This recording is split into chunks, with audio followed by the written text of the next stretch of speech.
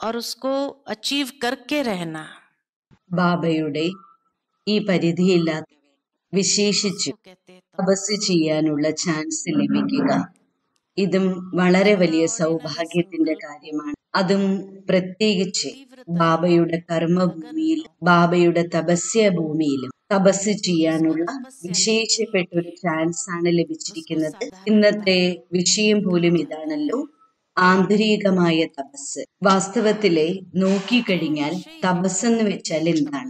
തപസ് എന്ന് വെച്ചാൽ തന്നെ സ്വയം നമുക്ക് തന്നെ നമ്മളോട് പ്രതിബന്ധരാവുക. സ്വയത്തിനോടൊപ്പമുള്ള ഒരു പ്രതിജ്ഞയുമാണ്.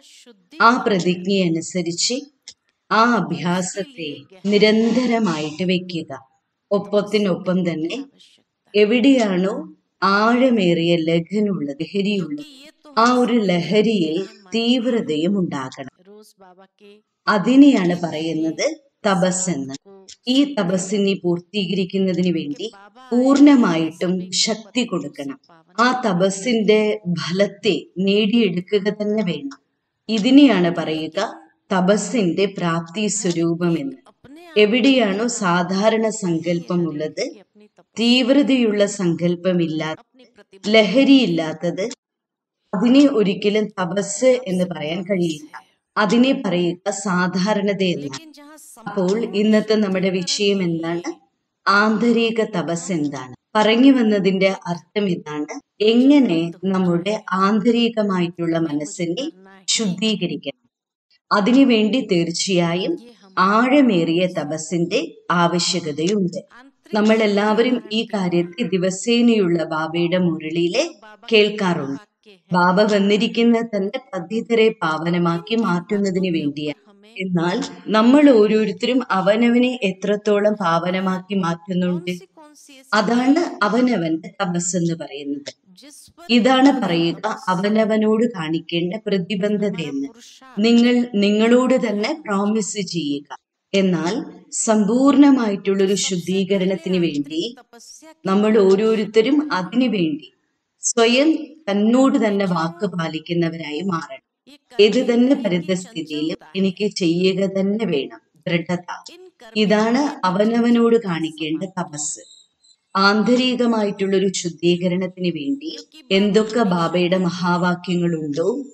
ഏതേതൊക്കെ കാര്യങ്ങളിലാണ് നമുക്ക് ശ്രദ്ധിക്കേണ്ടത്? ഏതേതൊക്കെ മാർഗങ്ങളിലൂടെ നമുക്ക് ഇതിലൂടെ ഈ മാർഗത്തിലൂടെ നമ്മുടെ തപസ് നമ്മുടെ പുരുഷാർത്ഥം വളരെയധികം ഡീപ്പായിട്ട് മാറണം. അപ്പോൾ അതിനു വേണ്ടി ആദ്യമായിട്ട് ആന്തരികമായിട്ടുള്ള ശുദ്ധീകരണത്തിനായി ഫസ്റ്റ് വെക്കേണ്ട തപസ്സാണ് എന്ത് നമ്മുടെ കർമ്മേന്ദ്രിയത്തിന്റെ ചഞ്ചലതയുണ്ടോ ഈ കർമ്മേന്ദ്രിയങ്ങളുടെ ചഞ്ചലതയെ സമാപ്തമാക്കണം. കാരണം ബാബ എല്ലായ്പ്പോഴും നമ്മളോട് പറയാറുണ്ട് ഏറ്റവും കൂടുതലായിട്ട് നമ്മുടെ ശരീരത്തിലെ ചഞ്ചലതയുള്ളത് കണ്ണുകളുടേതാണ് ഇതാണ് ആത്മാവിനെ അശുദ്ധമാക്കുന്നത്. അതിനാൽ കണ്ണുകളുടെ മേലെ സമ്പൂർണമായിട്ടുള്ള അധികാരം വേണം. ഈ അപവിത്രമായിട്ടുള്ള ദൃഷ്ടിയെ പവിത്ര ദൃഷ്ടിയാക്കി മാറ്റണം. ഇതാണ് ഏറ്റവും വലിയ പുരുഷാരം. നമ്മളെല്ലാവരും കഴിഞ്ഞ ആഴ്ചകളിലെ അവ്യക്തവാണി കേട്ടതാണ് ലോകത്തിലെ ആളുകൾ അപവിത്രതയെ അസംഭവ്യമാണെന്ന് വിചാരിക്കും. വലിയ വലിയ ഋഷി മുനിമാരി പോലും പറയുന്നത് എന്താണ് കുടുംബത്തിൽ ഇരുന്നു കൊണ്ട് എങ്ങനെ പവിത്രത സാധ്യമാകും? അതാണ് അവരുടെ ചോദ്യം. എന്നാൽ താങ്കൾ കുട്ടികൾക്കത് സഹജമാണ്. അത് നമ്മൾ ഇത്രയും സഹജമാക്കി മാറ്റി.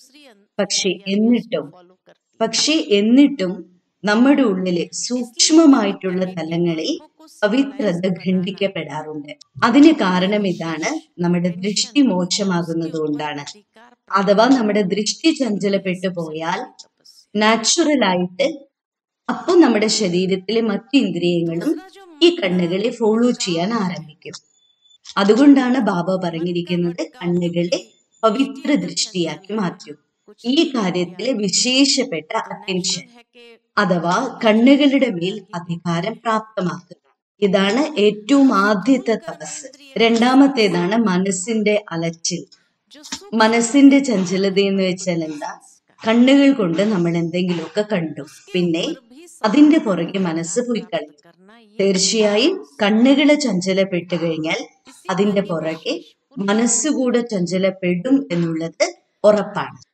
സ്ഥൂലമായ ഇന്ദ്രിയങ്ങളോടൊപ്പം തന്നെ സൂക്ഷ്മ ഇന്ദ്രിയങ്ങളാണല്ലോ മനസ്സ് ബുദ്ധി സംസ്കാരം. അതിന്റെ മേൽ പോലും സമ്പൂർണമായിട്ടുള്ള അധികാരം പ്രാപ്തമാക്കണം. ഇതാണ് നമ്മുടെ തപസ്. ഈ കാര്യത്തിലാണ് വിശേഷപ്പെട്ട നമുക്ക് പുരുഷാർത്ഥം വേണ്ടത്. അഥവാ നമ്മുടെ മനസ്സ് ചഞ്ചലപ്പെടുന്നു എങ്കിൽ എവിടെവിടേക്കാണ് മനസ്സ് പോവാറുള്ളത്? മൂന്ന് വസ്തുക്കളുടെ പിന്നാലെയാണ് പോവാറ്. ഒന്നാമത്തേതാണ് ആദ്യം ഇച്ഛകളുടെ പിന്നാലെ പോകും അത് വേണം വേണം. അങ്ങനെയല്ലേ? അപ്പോൾ ഒന്നാണ് ഇച്ഛകളുടെ പിന്നാലെ പോകുന്നു. രണ്ടാമത്തേത് പോകുന്നത് സംബന്ധങ്ങളുടെ പിന്നാലെയാണ്. നമുക്ക് ആരോടാണ് കൂടുതലായിട്ടും അറ്റാച്ച്മെന്റ് ഉള്ളത്? അവരുടെ ഓർമ്മകൾ വരും. ഇനി അഥവാ നമുക്ക് ആരോടെങ്കിലും വെറുപ്പുണ്ടെങ്കിൽ അവരുടെയും ഓർമ്മ രണ്ടിന്റെയും ഓർമ്മ വരും. അങ്ങനെയല്ലേ? ആരോടാണോ നമുക്ക് കൂടുതലായിട്ട് പ്രിയമുള്ളത് അവരെയും നമ്മൾ ഓർമ്മിക്കും ഇനി നമുക്ക് ആരോടാണോ കൂടുതൽ അപ്രിയം തോന്നാറുള്ളത് അവരെയും നമ്മൾ ഓർമ്മിക്കാറുണ്ട്. അപ്പോൾ മനസ്സ് സംബന്ധങ്ങളിലേക്കും പോകും. അഥവാ ഇച്ഛകളുമല്ല സംബന്ധങ്ങളും ഇല്ലെങ്കിൽ പിന്നെ എവിടേക്കാണ് പോവാറുള്ളത് വ്യർത്ഥത്തിലേക്ക് പോകും. അങ്ങനെയല്ലേ? വ്യർത്ഥമായിട്ടുള്ള ചിന്തനങ്ങൾ ബാബയുടെ നമ്മൾ അവസാനത്തെ അവ്യക്ത മുരളി കേട്ടു. അതിലെ ബാബ തന്നെ മായയുടെ നാല് സ്വരൂപങ്ങളെ കുറിച്ച് പറഞ്ഞു തന്നു ഒന്നാണ് റോയൽ ആയിട്ടുള്ള രൂപം. രണ്ടാമത്തേത് ആർട്ടിഫിഷ്യൽ ആയിട്ടുള്ള സ്വരൂപം. പിന്നെ അടുത്തത് പ്രത്യക്ഷ സ്വരൂപം സ്ഥൂല രൂപത്തിലെ. നാലാമത്തേത് സൂക്ഷ്മമായിട്ടുള്ള സ്വരൂപം. അങ്ങനെ നാല് രൂപങ്ങളെ കുറിച്ച് ബാബ മായയുടെ പറഞ്ഞിരുന്നു. മായയുടെ അലച്ചിലിന്റെ പ്രത്യക്ഷ സ്വരൂപങ്ങളെ കുറിച്ച് നമുക്ക് അറിയാലോ. ഏതേതെങ്കിലും പ്രകാരത്തിലുള്ള വികാരങ്ങളിലെ വശീഭൂതരാകാറുണ്ട്.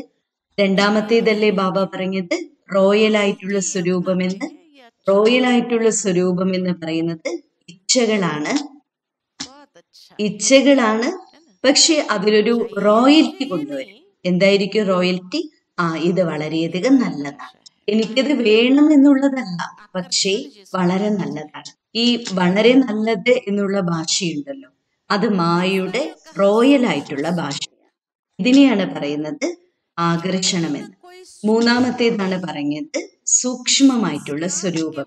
ഏതെങ്കിലും പ്രകാരത്തിലുള്ള സൂക്ഷ്മത്തിലുള്ള സംസ്കാരത്തിന് വശത്ത് കഴിഞ്ഞ ജന്മങ്ങളുടെയോ അതിലും പൂർവ ജന്മങ്ങളുടെയോ കടുത്ത സംസ്കാരങ്ങൾ ആ സംസ്കാരങ്ങൾക്ക് എപ്പ നമ്മൾ വശീഭൂതരാകും? അത് ചിലപ്പോ നമുക്ക് മനസ്സിലാക്കാൻ പോലും കഴിയില്ല. ഇതൊക്കെ എന്റെ പൂർവ ജന്മത്തിലെ കഴുങ്ങിപ്പോയി അടുങ്ങികൂടി കിടക്കുന്ന സംസ്കാരമാണെന്ന് പോലും മനസ്സിലാക്കാനായിട്ട് അതാണല്ലോ വളരെ സൂക്ഷ്മത്തിലാകുന്നത്. നാലാമത്തേതല്ലേ ബാബ പറഞ്ഞത്? ആർട്ടിഫിഷ്യൽ ആയിട്ടുള്ള സ്വരൂപം മായയുടെ. എന്തായിരിക്കും ആർട്ടിഫിഷ്യൽ ആയിട്ടുള്ള രൂപം? അതിനെയാണ് പറയുന്നത് വ്യർത്ഥമെന്ന്. അനാവശ്യമായിട്ടുള്ള ചിന്തകൾ നമ്മൾ പറയില്ലേ വെറും സാങ്കല്പികമായിട്ട് നമ്മൾ കുറെ അനുമാനങ്ങൾ ഉണ്ടാക്കി അതും ശരിക്കും ആർട്ടിഫിഷ്യൽ ആയിട്ടുള്ള സ്വരൂപമാണ് മായയുടെ. വ്യർത്ഥം ഇങ്ങനെ നടന്നു പോയിക്കൊണ്ടേയിരിക്കും. ഇത് വ്യർത്ഥമാണെന്ന് പോലും മനസ്സിലാക്കാൻ പറ്റില്ല. അഥവാ നമ്മുടെ മനസ്സിന്റെ ഉള്ളിലെ ഏതെങ്കിലും പ്രകാരത്തിലുള്ള ആഗ്രഹങ്ങളുണ്ട്. പക്ഷെ ഈ ആഗ്രഹങ്ങൾ നടന്നിട്ടില്ലെങ്കിലും നമ്മുടെ മനസ്സിന്റെ ഉള്ളിൽ എന്തുണ്ടാകും? അതിനെപ്പറ്റി തന്നെ വിചാരം ചെയ്യും. അതും വ്യർത്ഥ ചിന്തകൾ. ഏതെങ്കിലും പ്രകാരത്തിൽ എന്തിനെ പറ്റിയെങ്കിലും ചിന്തിച്ചുകൊണ്ടിരിക്കുക അതും ശരിക്കും ആർട്ടിഫിഷ്യൽ ആയിട്ടുള്ള മായ. ചിലപ്പോ ഒരിക്കലും നടക്കാത്ത കാര്യങ്ങളായിരിക്കും. അല്ലെങ്കിൽ ഏതെങ്കിലും പ്രകാരത്തിലുള്ള അനുമാനങ്ങളായിരിക്കും. നമ്മൾ തന്നെ സങ്കല്പിച്ച് ചിന്തിച്ചു കൂട്ടിയ കാര്യങ്ങളായിരിക്കും. അത് തന്നെ പിടിച്ചുകൊണ്ട് നടക്കും. അതും ആർട്ടിഫിഷ്യൽ ആണ്. ലോകത്തിൽ തന്നെ ബാബ എപ്പോഴും ഉദാഹരണമായിട്ട് പറയാറില്ലേ? ആർട്ടിഫിഷ്യൽ ആയിട്ടുള്ള കാര്യങ്ങൾക്ക് കൂടുതലായിട്ട് ഷോ ആയിരിക്കും. നല്ല തിളക്കമായിരിക്കും. അത് ശരിക്കും ഉള്ളതല്ല. റിയൽ ആയിട്ടുള്ളതേ അല്ല. പക്ഷേ ആർട്ടിഫിഷ്യൽ ആണ് എന്നിരുന്നാലും ഷോയും ഷൈനിങ്ങും കൂടുതലായിരിക്കും. ഇതേപോലെ തന്നെ അതേപോലെ തന്നെ യഥാർത്ഥമായിട്ടുള്ള കാര്യങ്ങളൊന്നും ആയിരിക്കില്ല. പക്ഷെ എന്നിട്ടും അതിനെപ്പറ്റി തന്നെ ചിന്തിച്ചുകൊണ്ടേയിരിക്കും. അതും ആർട്ടിഫിഷ്യൽ ആയിട്ടുള്ള മായയാണ്. അതിനെയാണ് പറയുക ആർട്ടിഫിഷ്യൽ ആയിട്ടുള്ള സ്വരൂപമെന്ന് ഇതാണ് ഏറ്റവും കൂടുതലായിട്ട് നമ്മൾ ആകർഷിക്കുന്നത്. ഇതാണ് സൂക്ഷ്മത്തിലുള്ള മായയുടെ സ്വരൂപം. അതുകൊണ്ട് ഇതുപോലെയുള്ളൊരു ശുദ്ധീകരണത്തിന്റെ ആവശ്യമുണ്ട് നമുക്ക്. ഇത് ചെയ്യാൻ നമുക്ക് തീർച്ചയായും തപസ്സിന്റെ ആവശ്യമുണ്ട്. ഈ നാല് പ്രകാരത്തിലുള്ള മായയുടെ സ്വരൂപം എന്താണോ അതിന്റെ മേലാണ് നമ്മൾ തീർച്ചയായും വിജയം പ്രാപ്തമാക്കുക ഇതാണ് നമ്മുടെ പുരുഷാർത്ഥം. ഇതാണ് നമ്മുടെ തപസ്. ഏതുവരയ്ക്ക് ഇതിന്റെ ഒന്നും മേലെ നമ്മൾ വിജയം പ്രാപ്തമാക്കുന്നില്ല. ഒരിക്കലും നമ്മൾ തപസ് ചെയ്യാൻ ഇരുന്നാലും നമുക്ക് മനസ്സിനെ ശാന്തമാക്കാനോ ശാന്ത സ്വരൂപരാകാനോ കഴിയില്ല. നമ്മുടെ ഉള്ളിന്റെ ഉള്ളിലെ തപസ് ചെയ്യാനായിട്ട് ആരംഭിക്കുമെങ്കിലും ആ തപസ് എന്ന് പറയുന്ന ലക്ഷ്യത്തിലേക്ക് നമുക്ക് എത്തിച്ചേരാൻ കഴിയില്ല. അതുകൊണ്ട് ആദ്യം വേണ്ടത് എന്താണ് ഇന്ദ്രിയങ്ങളെ ജയിക്കുക. രണ്ടാമത്തേതാണ് പറഞ്ഞത് സൂക്ഷ്മമായിട്ടുള്ള അവസ്ഥ അതാണ് മനസ്സിനെ ജയിക്കുക. ഇതും വളരെ ആവശ്യമാണ്. ഇനി മൂന്നാമത്തേതാണ് സംസ്കാരത്തെ ജയിക്കുക. അഥവാ പഴയ ഏതെങ്കിലും സ്വഭാവമോ സംസ്കാരമോ വീണ്ടും വീണ്ടും നമ്മുടെ ഉള്ളിലേക്ക് എമർജ് ആവുകയാണ് ആ സംസ്കാരത്തെയും ഇനി ആ സംസ്കാരത്തെ മനസ്സിലാക്കണം അഥവാ തിരിച്ചറിയണം. എന്നിട്ട് അതിന്റെ മേലെ വിജയം പ്രാപ്തമാക്കണം. ചിലപ്പോ ഒരു വ്യക്തി ഈ ജന്മത്തിലെ എത്ര വലിയ ആളോ അല്ലെങ്കിൽ പഠിപ്പുള്ള ആളോ ആണെങ്കിൽ പോലും പൂർവജന്മത്തിലെ ഏതെങ്കിലും കടുത്ത സംസ്കാരം അതിന്റെ മുന്നിലെ ആ സംസ്കാരത്തിന്റെ മുന്നിൽ അവർക്കും ചിലപ്പോൾ പിടിച്ചു നിൽക്കാൻ സാധിച്ചു എന്ന് വരില്ല. ആ സംസ്കാരം അവരെ ഇടയ്ക്കിടയ്ക്ക് കീഴ്പ്പെടുത്തുന്നതായിട്ട് കാണാറുണ്ട്. അപ്പോഴവരെന്താ സംഭവിക്കുക? ആ സംസ്കാരത്തിന് കീഴ്പ്പെട്ടു പോയാലേ ആ സ്വഭാവ സംസ്കാരത്തിന് അവരെ ബുദ്ധിമുട്ട് അനുഭവിക്കും. അതോടുകൂടെ അവിടെ തപസ് തന്നെ എന്ത് ചെയ്യുന്നു? മുടങ്ങുന്നു. അതിനു വേണ്ടിയിട്ടാണ് ബാബ പറഞ്ഞിരിക്കുന്നത്. എനിക്ക് ഞാൻ ചെയ്തുകൊണ്ടിരിക്കുന്ന തപസ്സിനെ ഫലപ്രദമാക്കി മാറ്റണം. അതിനാൽ ത്യാഗമില്ലാതെ ഒരിക്കലും തപസ് നടക്കില്ല. അതുകൊണ്ട് തന്നെ ആദ്യത്തെ നമ്പർ ഏതാണ്? ത്യാഗം എന്നാകുന്നു. പിന്നെ തപസ് പിന്നെയാണ് സേവനം.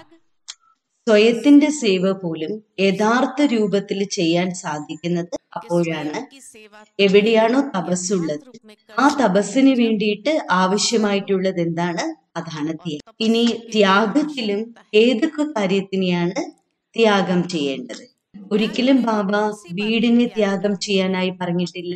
ഒരിക്കലും തന്റേതായ ഉത്തരവാദിത്തങ്ങളെ ത്യാഗം ചെയ്യാനായി പറഞ്ഞിട്ടില്ല. തന്റേതായിട്ടുള്ള കർത്തവ്യങ്ങളെ ത്യാഗം ചെയ്യാനായി പറഞ്ഞിട്ടില്ല. അല്ലെങ്കിൽ കടകൾ ഉപേക്ഷിക്കണം. അല്ലെങ്കിൽ തന്റേതായിട്ടുള്ള വ്യാപാരം ഉപേക്ഷിക്കണം. അതൊന്നും ബാബ പറഞ്ഞിട്ടില്ല. എന്നാൽ ഇതെല്ലാ കാര്യങ്ങളും ചെയ്തുകൊണ്ട് ഇവയിലൊക്കെയുള്ള ഉത്തരവാദിത്തങ്ങളെല്ലാം നിറവേറ്റിക്കൊണ്ട് ത്യാഗം എന്തിനെയാണ് ചെയ്യേണ്ടത്? ഈ കാര്യങ്ങളെല്ലാം ചെയ്തുകൊണ്ടും അഥവാ നിറവേറ്റിക്കൊണ്ടും ഏതിനെയാണ് ത്യാഗം ചെയ്യേണ്ടത് നമുക്ക്? അതിലെ ആദ്യത്തേത് ആകർഷണങ്ങളെ ത്യാഗം ചെയ്യുക. ലോകത്തിൽ സൂക്ഷ്മമായിട്ടുള്ള ആകർഷണങ്ങളുമുണ്ട്. ആ ആകർഷണങ്ങളോടുള്ള ത്യാഗം ഇത് വളരെ ആവശ്യമാണ്. കാരണം ഈ സൂക്ഷ്മമായിട്ടുള്ള ആകർഷണങ്ങൾ തന്നെയാണ് നമ്മളെ വീണ്ടും വീണ്ടും അവിടത്തേക്ക് ബലമായി പിടിച്ചുകൊണ്ടു അപ്പോ വസിക്കേണ്ടത് നമ്മുടെ കുടുംബത്തിൽ തന്നെയാണ്. ആ ഉത്തരവാദിത്തങ്ങളെല്ലാം നിറവേറ്റണം. നമ്മുടേതായിട്ടുള്ള കാര്യങ്ങൾ നമ്മൾ ചെയ്യണം. ഇനി ചിലപ്പോ എന്തെങ്കിലുമൊക്കെ പർച്ചേസ് ചെയ്യുന്നതിന് വേണ്ടി നമുക്ക് വലിയ വലിയ മാളുകളിലേക്കൊക്കെ പോകേണ്ടതായി വരും. എന്നാൽ ആ വലിയ മാളിലേക്ക് പോയി കഴിഞ്ഞാലും അവിടെ നമ്മളെ ആകർഷിപ്പിക്കുന്ന പലതുണ്ടാകും. അതെല്ലാം നമുക്ക് പ്രലോഭനങ്ങളാണല്ലോ. ഉദാഹരണമായിട്ട് ഇപ്പൊ വീട്ടിലുള്ളവരെ നമ്മുടെ കയ്യിൽ കുറച്ച് പൈസ തന്നു. എന്നിട്ട് പറയാണ് എപ്പോ ആവശ്യം വരുന്നു ഈ പൈസ ചെലവാക്കിക്കോളൂ. അവർ ചിലപ്പോ അയ്യായിരം രൂപയോ പത്തായിരം രൂപയോ തന്നിട്ടുണ്ട്. അതുകൊണ്ട് നമ്മൾ മാളിലേക്ക് പോയി. എന്നിട്ട് നമ്മൾ എന്ത് ചെയ്യും അവിടെ പോയിട്ട്? ആ പൈസ മുഴുവൻ നമ്മൾ ചിലപ്പോ അവിടെ തന്നെ തീർത്തിട്ടുണ്ട് നമ്മൾ അവിടെ ആ പൈസനെ തീർത്തിട്ട് വരും. അത് തീർക്കില്ലയോ? ചിലപ്പോ നമ്മൾ ഇങ്ങനെ ആകർഷിതരാകാറുണ്ട്. ചിലപ്പോ നമുക്ക് ആവശ്യമേ ഉണ്ടായിരിക്കില്ല. അതും കൂടി വാങ്ങിച്ചുകൊണ്ട് നമ്മൾ എന്നിട്ട് നമ്മൾ നമ്മുടെ വീട്ടിൽ നമ്മൾ അതിനെ സൂക്ഷിക്കും. വീടിനെ നമ്മൾ എന്ത് ചെയ്യുന്നു പറയട്ടെ? കുറെ സാധനങ്ങൾ വാങ്ങിച്ചുകൊണ്ടുവന്ന് വീടിനെ തന്നെ ഗോഡൌൺ ആക്കി മാറ്റിക്കളയും നമ്മൾ വാങ്ങിച്ചു വെച്ചിട്ട് പിന്നെ നമ്മൾ പറയുന്നത് എന്തായിരിക്കും? ആ ചിലപ്പോ പിന്നെ എപ്പോഴെങ്കിലും ആവശ്യം വരും. ഇരിക്കട്ടെ എന്ന് പറഞ്ഞ് നമ്മൾ ആ സാധനത്തിന് വാങ്ങിച്ചു കിട്ടും. എപ്പോഴെങ്കിലും ആവശ്യം വരും. ശരിക്കും നമ്മൾ ഇങ്ങനെയല്ലേ ചെയ്യേണ്ടത്? എപ്പോ നമുക്ക് ആവശ്യം വരുന്നു അപ്പൊ നമ്മൾ പോയിട്ട് വാങ്ങിക്കണം. അല്ലാതെ പിന്നെ എപ്പോഴെങ്കിലും ആവശ്യം വരും എന്ന് പറഞ്ഞ് വാങ്ങിച്ചു വെക്കലല്ലല്ലോ വേണ്ടത്. നമ്മൾ എന്ത് ചെയ്തു? മാളിൽ ഉണ്ടായിരുന്ന സാധനത്തിനെ കൊണ്ടുവന്ന് നമ്മുടെ വീടിനെ തന്നെ നമ്മൾ ഗോഡൌൺ ആക്കി മാറ്റി. പിന്നെ ചിലപ്പോ നമ്മുടെ വീട്ടിൽ എന്ത് ചെയ്യും? അത് വെക്കാൻ പോലും സ്ഥലം ഉണ്ടായിരിക്കില്ല. അവിടെ ഇവിടെയൊക്കെ നമ്മൾ അതിനെ വാരി വലിച്ചിട്ടിടും. പക്ഷെ എന്നാലും ചിലർക്ക് അങ്ങനെയാണ് വെറുതെ സാധനങ്ങൾ വാങ്ങിച്ചു കൂട്ടി വെക്കുന്ന ശീലമുണ്ട്. ഈ വാങ്ങിച്ചു കൂട്ടുന്ന ശീലം ഉണ്ടല്ലോ അതും ആകർഷണമാണ്. അതിനെയും നമ്മൾ ത്യാഗം ചെയ്യണം. അഥവാ ആകർഷണങ്ങളെ ത്യാഗം ചെയ്തിട്ടില്ല എങ്കിൽ എല്ലായ്പ്പോഴും നമ്മുടെ ബുദ്ധി അലഞ്ഞുകൊണ്ടേയിരിക്കും. അവിടേക്ക് തന്നെ നമ്മുടെ മനസ്സും നമ്മുടെ ബുദ്ധിയും വീണ്ടും വീണ്ടും പോയിക്കൊണ്ടേ അഥവാ നമ്മൾ വാങ്ങിച്ചു കൊണ്ടുവന്ന സാധനങ്ങൾ നമ്മുടെ വീട്ടിൽ വെക്കാനുള്ള ഇടമില്ലെങ്കിൽ നമ്മൾ അവിടെയും ഇവിടെയും വാരി വലിച്ചിടുകയാണെങ്കിൽ അത് കേടുവന്നാൽ എന്താ ചെയ്യുക പിന്നെ നമ്മുടെ മനസ്സിലേക്ക് സങ്കല്പം വരില്ലേ? അതുകൊണ്ട് ഏറ്റവും വലിയ ത്യാഗമാണ് ആകർഷണങ്ങളോടുള്ള ത്യാഗം. പക്ഷേ താമസിക്കേണ്ടത് എവിടെ തന്നെയാണ്? പഴയ ലോകം ഉത്തരവാദിത്തങ്ങളെ നിറവേറ്റുകയും വേണം. പക്ഷേ ഇതെല്ലാ കാര്യങ്ങളും ചെയ്തിട്ടും ബുദ്ധി ഒരിക്കലും വേറെ വഴിയും പോകരുത്. കാരണം ബാബ നമുക്ക് ഈ ഒരു കാര്യം തീർച്ചയായും നമ്മളെ പഠിപ്പിച്ചു തന്നിട്ടുണ്ട്. സാധാരണപ്പെട്ട ജീവിതവും എന്നാലോ ഉയർന്ന വിചാരം. വിചാരത്തെ എല്ലായ്പ്പോഴും ഉയർന്നതാക്കി വെക്കും. പക്ഷെ നമ്മുടെ ജീവിതം വളരെ ലളിതപൂർണമായിരിക്കണം. ബാബ നമ്മളോട് കുടുംബത്തിൽ ഇരുന്നു കൊണ്ട് നമ്മുടെ ജീവിതത്തിനെ സാധാരണ ജീവിതമാക്കി മാറ്റിയിരിക്കും അല്ലെങ്കിൽ ബാബ പറഞ്ഞിരിക്കുന്ന ശൈലി ഇതാണ് ലളിതമായിട്ടുള്ള ജീവിതം. ഇതായിരിക്കണം നമുക്ക് വേണ്ടി. ലളിതമായിട്ടുള്ള ജീവിതത്തിന് വേണ്ടി. അതിനുവേണ്ടി ബാബ ഒരിക്കലും ഇങ്ങനെ പറഞ്ഞിട്ടില്ല. കീറിപ്പറിഞ്ഞ വസ്ത്രം ധരിച്ചോളൂ. ബാബ പറഞ്ഞിട്ടുള്ളത് എന്താണ്? നിങ്ങൾ അതിനെ തുന്നിയിട്ടിട്ടോളൂ. പക്ഷേ റോയൽ ആയിരിക്കണം. കീറിപ്പറിഞ്ഞ വസ്ത്രം ധരിക്കരുത്. പക്ഷെ കീറിയതാണെങ്കിൽ അതിനെ തുന്നിയിട്ട് ഉപയോഗിച്ചോളൂ എന്നാണ് ബാബ പറയുന്നത്. എന്നാൽ ആകർഷണങ്ങളുടെ പിന്നാലെ പോയിട്ട് എനിക്ക് അതും വേണം ഇതും വേണം എന്ത് കണ്ടാലും എനിക്ക് വേണം വേണമെന്ന് പറഞ്ഞിട്ട് എടുത്തു വെക്കും. ഇത് ഒരിക്കലും പാടില്ല. അതായത് കൂട്ടിവെക്കണം കൂട്ടിവെക്കണം എന്നുള്ള മനോഭാവത്തെ ത്യാഗം അത് ചെയ്യാൻ പാടില്ല. ജീവിതം സാധാരണ ജീവിതമായിരിക്കണം അതിനു വേണ്ടി അതിനുവേണ്ടി തീർച്ചയായും ആകർഷണങ്ങളെ നമ്മൾ ചെയ്യണം. ഇപ്പൊ നമ്മൾ ചിലപ്പോ ആളുകൾ പറയില്ലേ ഇപ്പൊ നോക്കൂ എല്ലാ സാധനങ്ങളും ഒന്ന് ഇനി പിന്നീട് അതിന്റെയൊക്കെ വില കൂടി എന്ന് വിചാരിച്ച ആളുകൾ എന്ത് ചെയ്യും? അത് വാങ്ങിക്കാനായിട്ട് പോകും. എന്നിട്ട് ആളുകൾ വില കുറഞ്ഞിരിക്കണ സമയമല്ലേ എന്ന് പറഞ്ഞിട്ട് അതൊക്കെ വാങ്ങിച്ച് കൂട്ടിവെക്കും നമുക്ക് ആവശ്യമില്ല എന്താണ് അതിന്റെ കാര്യം. അപ്പൊ നമുക്ക് പറയാം. നമുക്ക് ആവശ്യമില്ലയോ?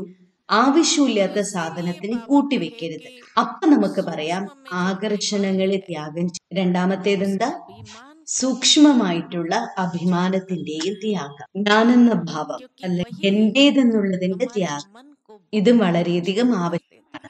എന്തുകൊണ്ടെന്നാൽ ബ്രാഹ്മണ ജീവിതം എന്ന് പറയും തപസ്യ ജീവിതം നമ്മൾ ഓരോരുത്തരും ഇരിക്കേണ്ടത് ഇങ്ങനെ ഇരിക്കണം തപസ്വികളായി. രാജ ഋഷികളായിട്ടായിരിക്കും നമുക്ക് നമ്മുടെ ശരീരത്തിലെ ഇന്ദ്രിയങ്ങളുടെ മേലും സമ്പൂർണ അധികാരം രാജ്യം. ഒപ്പം നമ്മൾ ആര് കൂടിയാണ് ഋഷിയാണ്. അതുകൊണ്ടാണ് ബാബ പറയുന്നത് സൂക്ഷ്മത്തിൽ എന്ത് അഭിമാനമുണ്ടോ ആ അഭിമാനത്തിന്റെ ത്യാഗത്തെ തീർച്ചയായും ചെയ്യണം. എന്തുകൊണ്ടെന്നാൽ ഈ അഭിമാനത്തെ ത്യാഗം ചെയ്തിട്ടില്ലെങ്കിൽ ഇത് നമ്മുടെ മനസ്സിൽ നമ്മുടെ ബുദ്ധിയെ ഒരുപാട് അലട്ടുന്നതായിരിക്കും. അഥവാ സൂക്ഷ്മത്തിലെങ്കിലും അഭിമാനമുണ്ട്. ഏതുവരെയ്ക്ക് ആ അഭിമാനം പൂർത്തീകരിക്കപ്പെടുന്നില്ലയോ ചിലപ്പോ ആ അഭിമാനത്തിലേക്ക് തന്നെയായിരിക്കും നമ്മുടെ മനസ്സും ബുദ്ധിയും പോവുക. അതിനൊരു തപസ്സാക്കി മാറ്റിക്കളെ ആ അഭിമാനത്തിന്റെ പിന്നാലെ പോയി എങ്ങനെയെങ്കിലും ആ കാര്യം നടത്തണം നേടിയെടുക്കണം എന്ന് പറഞ്ഞിട്ട് അതിന്റെ പിന്നാലെ പോകും. എന്തിനു വേണ്ടിയിട്ടാ? അവൻ അവന്റെ മനസ്സിനെ തൃപ്തിപ്പെടുത്താനായി ഇന്നലത്തെ മുരളി നമ്മൾ എല്ലാവരും കേട്ടിട്ടു ബാബ പറഞ്ഞില്ലേ നിങ്ങളെ കുട്ടികൾ ഇത്രയും ഭാഗ്യവാനായിരിക്കുന്ന. ഭാഗ്യവിദാതാവായിരിക്കുന്ന ബാബയിലൂടെ ഭാഗ്യം പ്രാപ്തമാക്കി.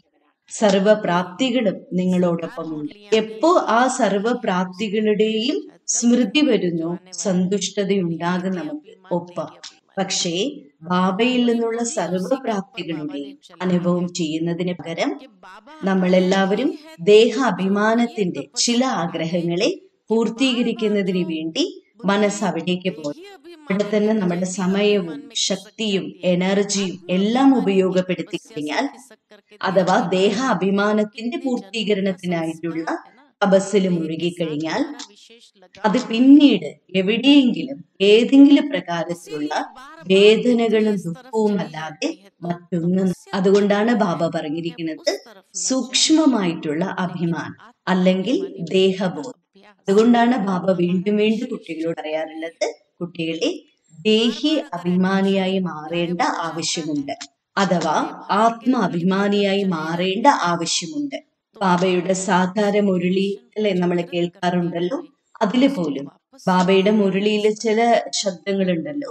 പൂർണമായിട്ടും ആത്മാഭിമാനി സ്ഥിതിയെ കുറിച്ച് അല്ലെങ്കിൽ ദേഹി അഭിമാനി സ്ഥിതിയെ കുറിച്ച് ബാബ പറയാറുണ്ട്. ബാബ വന്നിരിക്കുന്നത് എന്തിനു വേണ്ടിയിട്ടാണ്? കുട്ടികളെ കൊണ്ട് ഈ തപസ് ചെയ്യിപ്പിക്കാനാണ് ആത്മ അഭിമാനിയാക്കി അഥവാ ഇടയ്ക്കിടയ്ക്ക് നമ്മുടെ മനസ്സും ബുദ്ധിയും ആത്മ അഭിമാനിയായി മാറുന്നതിന് പകരം ദേഹാഭിമാനത്തിലേക്ക് തന്നെ വലിച്ചിഴക്കപ്പെടുകയാണെങ്കിൽ എന്തുകൊണ്ടെന്നാൽ ഇത് ഇത്രയും പഴയ ജന്മത്തിന്റെ സംസ്കാരമാണ്. എന്തുകൊണ്ടെന്ന് വെച്ചാൽ നമ്മുടെ ശരീരത്തിനെ പ്രതി നമുക്ക് ഇത്രയും അറ്റാച്ച്മെന്റ് ആണ്.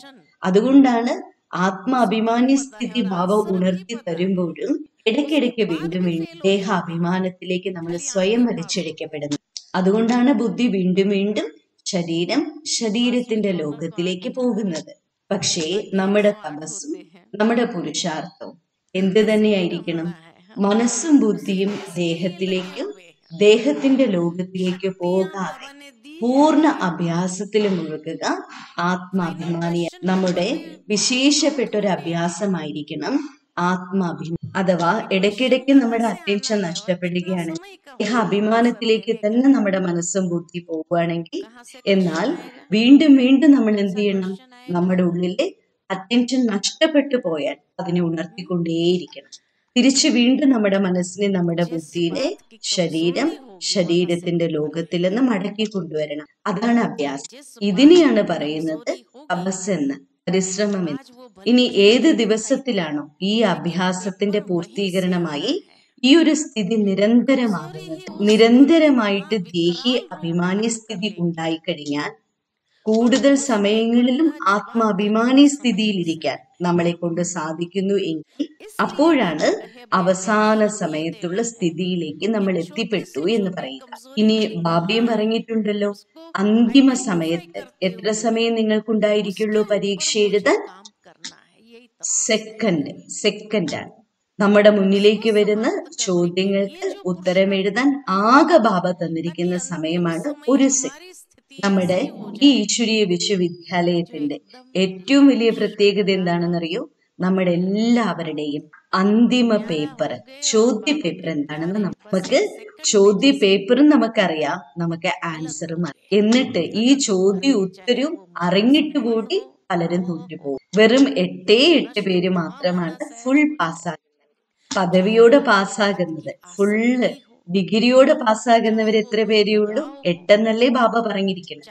ബാക്കി എന്നാലും ഉണ്ട് നൂറ്റി എട്ട് പേര്. ഒന്ന് ആലോചിച്ച് നോക്കൂ എത്ര വലിയൊരു പ്രതിഭാസമാണിത്.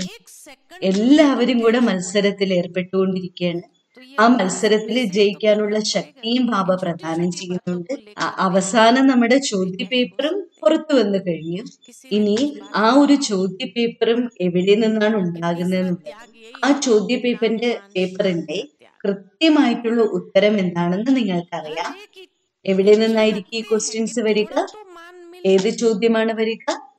എവിടെയാണോ നിങ്ങളുടെ ദുർബലതയുള്ളത്. ആ ദുർബലത ഉള്ള സ്ഥലത്ത് നിന്നായി ഏത് കാര്യത്തിലാണോ നിങ്ങൾ വളരെ വീക്കായിരിക്കുന്നത് അവിടെ നിന്നാണ് നിങ്ങളുടെ ചോദ്യവും ഉണ്ടാവുക.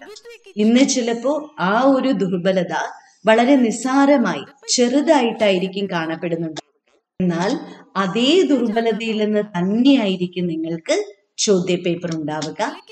എന്നാൽ ഇന്ന് അത് വളരെ നിസ്സാരമായിട്ടാണെങ്കിൽ അന്തിമ സെക്കൻഡിലെ അന്തിമ ടെസ്റ്റ് പേപ്പറിലെ ഈ നിസ്സാരപ്പെട്ട സ്വരൂപം വിക്രാള രൂപം പ്രാപിച്ചിട്ടുണ്ടാകും. എന്നാൽ ആ ചോദ്യ പേപ്പറിന് ഉത്തരം നൽകാനുള്ള സമയം ആകെ ഒരൊറ്റ സെക്കൻഡാണ്. അതുകൊണ്ടാണ് ബാബ പറഞ്ഞിരിക്കുന്നത് അറ്റൻഷൻ ഈ കാര്യത്തിലായിരിക്കണം.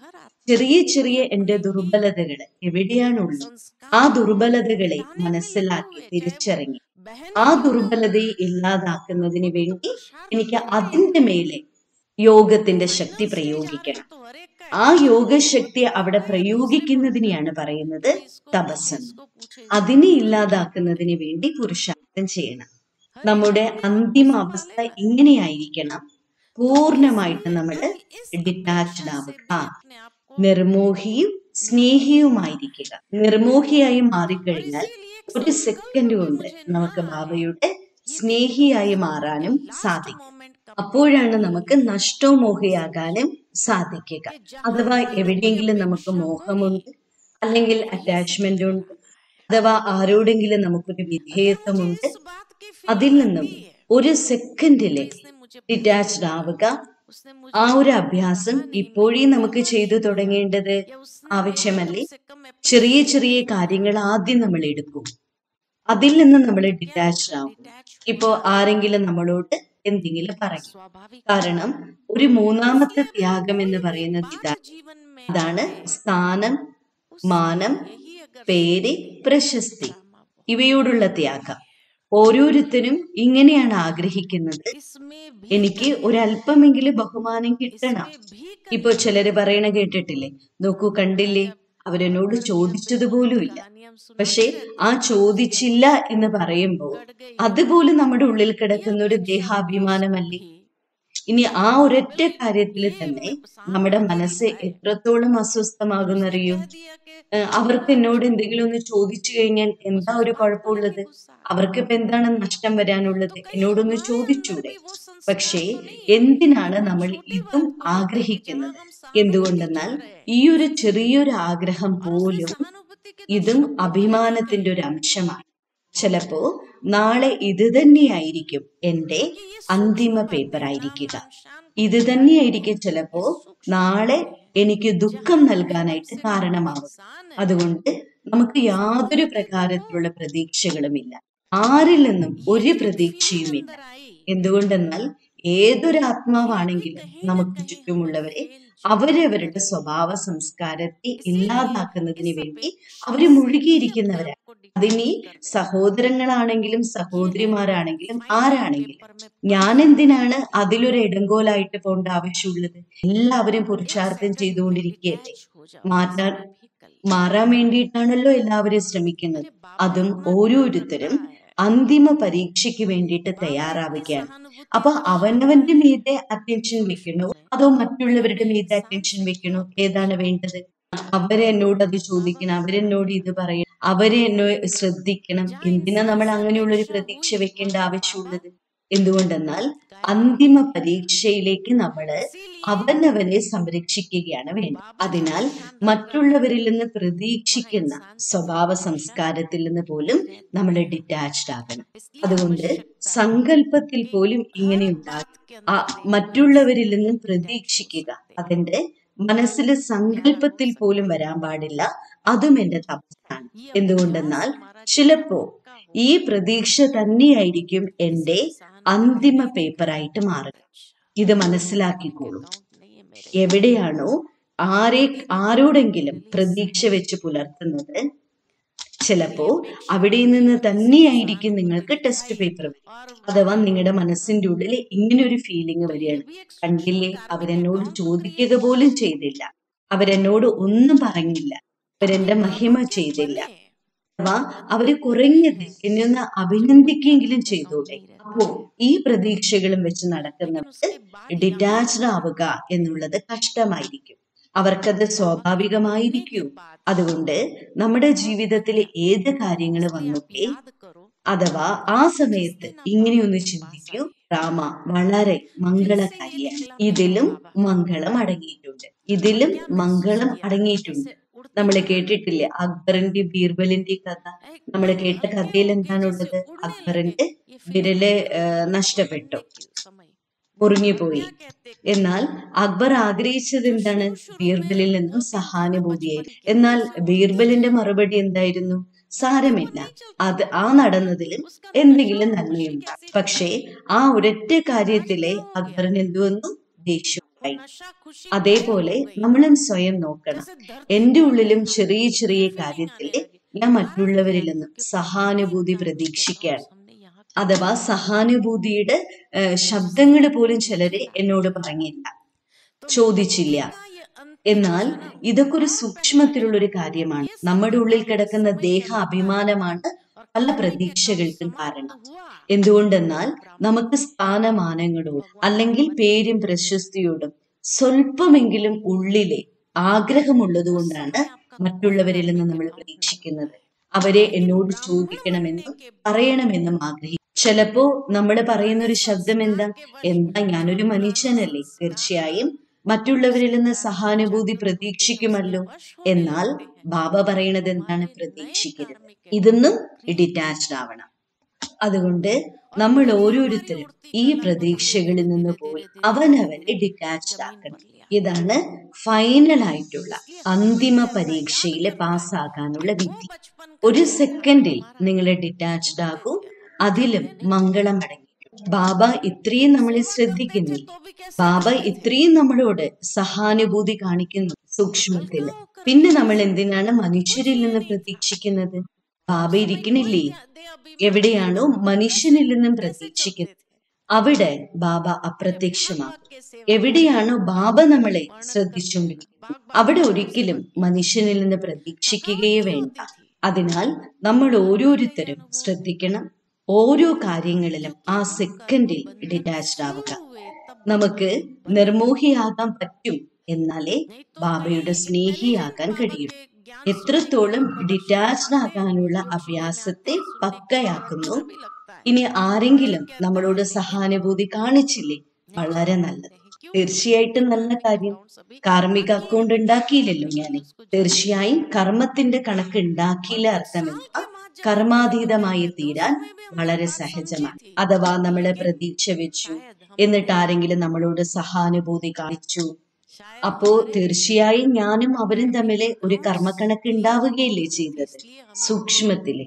അതിനാൽ നിങ്ങൾ ഓർമ്മിക്കും ഏത് സെക്കൻഡിലാണോ ഞാൻ ബാബയുടേതായിട്ട് മാറിയത്. ആ സെക്കൻഡ് മുതൽ നമ്മുടെ ഹൃദയത്തിൽ എന്താണ് ഉണ്ടായത്?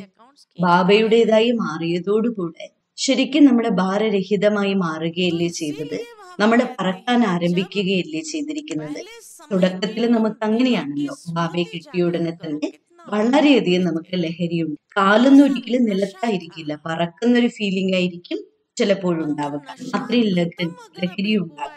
പിന്നെ ചിലപ്പോ എന്താ സംഭവിക്കുന്നത്? കുറേ ദിവസങ്ങൾ കഴിയുമ്പോൾ ആ ലഹരിയും ആ ഒരു സന്തോഷവും നഷ്ടമാകും. എന്തുകൊണ്ടെന്നാൽ ഇവിടെ നമ്മൾ അനാവശ്യമായിട്ടുള്ള കുറെ കാർമിക അക്കൗണ്ടുകൾ ഉണ്ടാക്കിയിട്ടുണ്ടാകും. ഈ കാർമിക അക്കൗണ്ടുകൾ പറക്കുന്നതിന് പകരം എവിടേക്കാണ് കൊണ്ടുവരുന്നത്? ഭാരം നമ്മളുടെ താഴേക്ക് തന്നെ വലിക്കും. നമ്മുടേത് ഈ ഒരു ജന്മം എന്ന് പറയുന്ന പൂർവ ജന്മങ്ങളുടെ എന്തൊക്കെ കാർമിക അക്കൗണ്ടുകളുണ്ടോ അതിന്റെ എല്ലാം സെറ്റിൽമെന്റ് ചെയ്യാനുള്ള ജന്മം പക്ഷെ ഇവിടെ നമ്മൾ സെറ്റിൽമെന്റ് എങ്ങനെ ചെയ്യേണ്ടത്? കർമ്മത്തിന്റെ കണക്ക് ഈശ്വരനുമായിട്ട് ഉണ്ടാകും എങ്കിലേ മനുഷ്യരുമായിട്ടുണ്ടാക്കിയ കണക്കുകളെ തീർക്കാനായിട്ട് പറ്റും. പക്ഷെ ചിലരെന്ത് ചെയ്യുന്ന പറയട്ടെ? ഇവിടെ വന്നിട്ട് മനുഷ്യരുമായിട്ടുള്ള കാർമിക അക്കൗണ്ട് ഇപ്പൊ നമ്മൾ ഭഗവാന്റേതായി മാറിയതും ബ്രാഹ്മണനായി ജീവിക്കുന്നതും ഈശ്വരനുമായിട്ടുള്ള കണക്ക് ഉണ്ടാക്കാനായിട്ടാണ്. അത് ഓർമ്മ വേണം. എപ്പൊ നമ്മൾ ഈശ്വരനുമായിട്ടുള്ള കണക്കുണ്ടാക്കുന്നുവോ? ഈ കണക്കുകൾ നിങ്ങളെ ഭാരരഹിതമാക്കും ബന്ധനമുക്തരാക്കും. എന്നാൽ ബ്രാഹ്മണനായതിനു ശേഷം പഴയ സ്വഭാവ സംസ്കാരങ്ങളുടെ നിയന്ത്രണത്തിലേക്ക് വന്ന് അപ്പോൾ ഇവിടെ എന്താ സംഭവിക്കുന്നത് എന്ന് വെച്ചാൽ വീണ്ടും നമ്മുടെ കാർമിക അക്കൗണ്ട് ഇവിടെ ബാബയുടേതായി മാറി ബ്രാഹ്മണനായി മാറിയതിനു ശേഷം വ്യക്തികളുമായിട്ട് വീണ്ടും നെഗറ്റീവായിട്ടുള്ള കാർമിക അക്കൗണ്ടുകൾ ഉണ്ടാക്കി കഴിഞ്ഞാൽ കർമ്മബന്ധനം വർദ്ധിക്കുകയും അതാണ് നമ്മളെ പറക്കാനേ സഹായിക്കില്ല. വീണ്ടും വീണ്ടും നമ്മൾ താഴേക്ക് താഴേക്ക് വന്ന് നിലത്ത് എഴയുന്ന അവസ്ഥയിലേക്ക് നമ്മൾ ഓരോരുത്തരും തന്നെ ബാബയുടേതായി മാറിയിട്ടുണ്ട് തീർച്ചയായും. ബാബയുടെ കുട്ടി ആകുക അർത്ഥം നമ്മുടെ കുറെ കർമ്മത്തിന്റെ കണക്കുകളുടെ സെറ്റിൽമെന്റ് അവിടെ നമ്മൾ എന്നിട്ടാണ് നമ്മൾ ബാബയുടേതായിട്ട് മാറിയത്. പക്ഷെ ഇവിടെ നമ്മൾ വന്നിരിക്കുന്നത് എന്തിനാ? കർമ്മ ബന്ധനങ്ങളിൽ നിന്നും മുക്തമാകണം. അതിനു വേണ്ടിയിട്ടാണ്. പക്ഷെ ചിലർ എന്ത് ചെയ്യുന്ന പറഞ്ഞാൽ നേരത്തെ പറഞ്ഞ പല ദുർബലതകൾ അല്ലെങ്കിൽ ചിലപ്പോ ചില പ്രതീക്ഷകൾ കാരണം അല്ലെങ്കിൽ സ്ഥാനമാനങ്ങളും ദേഹാഭിമാനവും കാരണം വീണ്ടും സൂക്ഷ്മത്തിലെ ബാബയുടെ കുട്ടിയായി മാറിയിട്ടും കർമ്മബന്ധനങ്ങൾ എല്ലാം ഇപ്പോഴും നമുക്ക് വേണ്ടത് എന്താണെന്നറിയാം? എന്നാൽ ലഹരിക്ക് കണക്ഷൻ ഏതുമായിട്ടാണെന്നറിയൂ? നിശ്ചയത്തിന്റെ ആധാരം. അപ്പൊ ലഹരി കുറയുന്നു അർത്ഥം മനസ്സിലാക്കണം. നിശ്ചയത്തിന്റെ കാലം ഞാൻ ആരംഭിച്ചിട്ടുണ്ട്. നിശ്ചയം നിങ്ങളുടെ കുറഞ്ഞു. എന്നാൽ നിശ്ചയം കുറയരുത്. നിശ്ചയ ബുദ്ധിയുള്ളവരെ എല്ലായ്പ്പോഴും നിശ്ചിന്തരായിരിക്കും. അവർക്ക് ഭാവി അവരുടെ മുന്നിലെ നിശ്ചയിക്കപ്പെട്ടത്. അതുകൊണ്ട് അവരെപ്പോഴും തന്നെ ലഹരിയിലും ഇരിക്കും. ബാബയുടേതായി മാറിയിട്ട് ചില കുട്ടികൾ എന്ത് ചെയ്യുന്നവരെ കഴിഞ്ഞുപോയ കാര്യങ്ങളൊക്കെ അറിയാം ഇതൊക്കെ ഡ്രാമയിൽ ഡ്രാമയിലെ സംഭവിക്കാം. എല്ലാം അറിയാം. ഡ്രാമയുടെ ജ്ഞാനത്തെ അവരെ നിശ്ചിന്തരാക്കുന്നു. അവരെ എന്നോട് അങ്ങനെയുള്ള വേഷം ചെയ്തു. അവരെന്നോട് അങ്ങനെ കാണിച്ചു ഇങ്ങനെ പെരുമാറി ഇങ്ങനെ പറഞ്ഞു. അങ്ങനെ അവർ കാണിച്ചതും പറഞ്ഞതും മുറുക്ക പിടിച്ചു. ഇതും സൂക്ഷ്മ രൂപത്തിലുള്ള മായയാണ്. മായയുടെ സ്വരൂപങ്ങളാണ്. ഇവയെ നമ്മൾ തിരിച്ചറിയണം. ഈ മായയുടെ സൂക്ഷ്മ സ്വരൂപങ്ങളെ തിരിച്ചറിഞ്ഞെങ്കിൽ മാത്രമേ നമുക്ക് ഈ ഡ്രാമയിൽ നിശ്ചിന്തരാകാനായിട്ട് സാധിക്കുള്ളൂ. ഡ്രാമയിൽ എന്ത് സംഭവിക്കുന്നു അതിലെല്ലാറ്റിലും മംഗളം അടങ്ങിയിട്ടുണ്ട് എന്നാൽ ഇതുപോലെ നമ്മൾ മറന്നു പോവുകയാണ് ഡ്രാമ കല്യാണകാരിയാണ് എന്ന ജ്ഞാനം പോലും. നമുക്ക് ജ്ഞാനമാർഗത്തിൽ തുടക്കത്തിൽ നല്ല ലഹരിയൊക്കെ ഉണ്ടാകാം. ചിലപ്പോൾ ലൗകികത്തിലുള്ളവര് നമ്മളെ ബന്ധനങ്ങളുണ്ടാകും എന്നാലും നമുക്ക് ഒരു ചിന്തയും ഉണ്ടായിരുന്നില്ല. വളരെയധികം തുടക്കത്തിൽ ലഗനോടുകൂടെ മുന്നോട്ട് പോയി. പക്ഷേ മുന്നോട്ട് പോകെ പോകെ ആ ലഗൻ ചിലരുടെ കുറയാറുണ്ട് നമ്മൾ എന്താ പറയുക? ആ അവർക്ക് അറിയില്ല ജ്ഞാനം ക്ലിയർ അതുകൊണ്ടാണ് അവർ ഈ ബന്ധനങ്ങളൊക്കെ ഉണ്ടാക്കുന്നത്. പോട്ടെ സാരില്ല എന്ന് പറഞ്ഞ് നമ്മൾ അതിനെ നിസ്സാരമായിട്ട് കണക്കാക്കാറുണ്ടായിരുന്നു നിശ്ചിന്തരായിട്ടിരുന്ന് അന്ന് തുടക്കത്തിലെ വളരെ ലഹരിയോടുകൂടെ മുന്നോട്ട് പോവുമായിരുന്നു. പക്ഷേ നമ്മളിപ്പോ ഇത്രയും വർഷങ്ങളായില്ലേ? എന്നിട്ടും നിശ്ചിന്തരായിട്ട് എന്തുകൊണ്ടാ ലഹരിയിൽ പറക്കാൻ കഴിയാത്തത്? ഇന്ന് നമുക്ക് നിശ്ചിന്തരായിട്ട് നമുക്ക് അങ്ങനെ പറക്കാൻ കഴിയുന്നില്ലെങ്കിൽ അതിന് കാരണം എന്താണെന്നറിയോ? പ്രതീക്ഷ. അതെന്ത് ചെയ്യുന്നു? എല്ലാ പ്രകാരത്തിലുള്ള ലഹരിയെ നമ്മുടെ ലഹരിയെ ഇല്ലാതാക്കുകയാണ് ബാബ എല്ലായ്പ്പോഴും പറയുന്ന ഒരു മഹാവാക്യൂലി പരസ്പരം സഹയോഗികളാകും. ആരുടെ സഹയോഗം നിങ്ങൾക്ക് വേണമോ എടുക്കും. ആർക്ക് സഹയോഗം കൊടുക്കണമോ കൊടുക്കൂ. എന്നാൽ അതേ സെക്കൻഡ് ഡിറ്റാച്ച്ഡ് ആകും. അവർക്ക് കൊടുക്കേണ്ട സഹയോഗം എങ്ങനെയായിരിക്കണം? ആത്മീയ ഭാവത്തിലായി ഓരോരുത്തരെയും ആത്മാക്കളായി കണ്ടുകൊണ്ട് സഹയോഗം കൊടുക്കുക നിങ്ങൾ ഒരിക്കലും ഇങ്ങനെ കരുത്താൻ പാടില്ല. ഇവരെ ബാബയുടെ കുട്ടിയായതുകൊണ്ട് ഞാൻ സഹയോഗം കൊടുക്കുകയാണ്. ബാബ ഒരിക്കലും മുരളിയിൽ ഇങ്ങനെ പറഞ്ഞിട്ടുണ്ടോ? നിങ്ങൾ പുറത്തുള്ളവർക്ക് സഹയോഗം കൊടുക്കണ്ട. വെറും ബ്രാഹ്മണർക്ക് മാത്രം സഹയോഗം കൊടുത്താൽ മതി. അങ്ങനെ പറഞ്ഞിട്ടുണ്ടോ? ഓരോ ആത്മാക്കൾക്കും ആത്മാവാണെന്ന് മനസ്സിലാക്കി അവർക്ക് നിങ്ങൾ സഹയോഗം കൊടുക്കണം. ശുഭഭാവനയും ശുഭകാമനയും നിരന്തരമായി നമ്മളിൽ നിന്നും പ്രവഹിക്കണം. ഇങ്ങനെ നിങ്ങൾ ആകാൻ പാടില്ല. ചില ആത്മാക്കളെ പ്രതി മാത്രം എനിക്ക് ശുഭഭാവനയും ശുഭകാമനയും ഉണ്ട്. അപ്പൊ ബാക്കി ആത്മാക്കളൊക്കെ എവിടെ പോയി? ഓരോ ആത്മാക്കളെ പ്രതി അവരെ ബ്രാഹ്മണനാണെങ്കിലും അല്ലെങ്കിൽ എന്നാൽ നിങ്ങൾ ആത്മാക്കൾക്ക് എല്ലാ ആത്മാക്കളെ പ്രതിയും നിരന്തരമായിട്ടുള്ള ശുഭഭാവന ഉണ്ടായിക്കൊണ്ടേ അപ്പോഴാണ് നമുക്ക് പറക്കുന്ന കലയുടെ അനുഭൂതി ഉണ്ടാവുക. അതിനാൽ എന്തൊക്കെ പരിധിയുള്ള തടസ്സങ്ങളുണ്ടോ ആ പരിധിയുള്ള എല്ലാ തടസ്സങ്ങളും നിങ്ങൾക്ക് മനസ്സിനൊരു ബ്ലോക്കുകൾ അതിജീവിക്കണം എന്തൊക്കെ മനസ്സുകൊണ്ട് നിങ്ങൾ ചില ലിമിറ്റേഷൻസ് വെച്ചിട്ടുണ്ട് അതിനെല്ലാം അറിയണം. അതെല്ലാം തടസ്സങ്ങളാണ്. തടസ്സങ്ങളെ സമാപ്തമാക്കും അപ്പോഴാണ് നമ്മൾ കർമാതീത അവസ്ഥയിൽ എത്തിച്ചേരുക.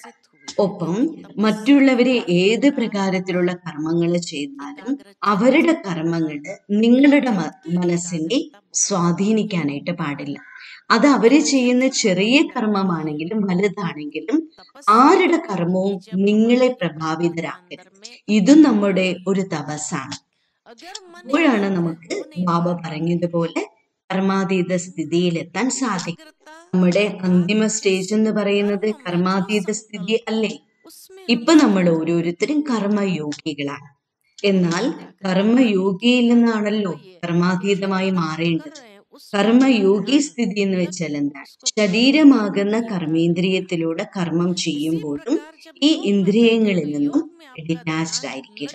എപ്പോഴാണോ ദേഹത്തിൽ നിന്നും ദേഹത്തിന്റെ ഇന്ദ്രിയങ്ങളിൽ നിന്നും സ്വയം ഡിറ്റാച്ച്ഡ് ആകുന്ന ഒരു വ്യക്തിക്ക് മാത്രമേ ബാഹ്യമായ പരിതസ്ഥിതികളിൽ നിന്നും സ്വയം ഡിറ്റാച്ച്ഡ് ആകാനായിട്ട് കഴിയുള്ളൂ.